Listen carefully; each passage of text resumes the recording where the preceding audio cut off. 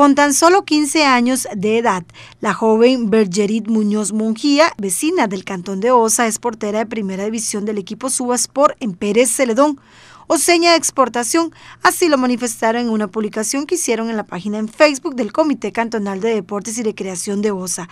A la joven le obsequiaron unos guantes.